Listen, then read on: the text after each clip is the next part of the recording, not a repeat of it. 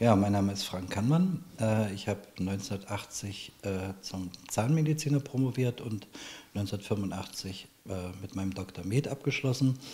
Arbeite seit 1986 als Zahnarzt und bin seit dem Jahr 2002 als Konsultant hier in der Praxis Teilzeit tätig.